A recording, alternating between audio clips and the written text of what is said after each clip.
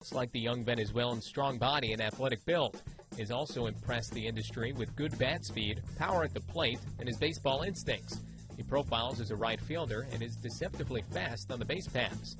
One scout described Palma by saying, he's not a plus runner, but he's not a base clogger either.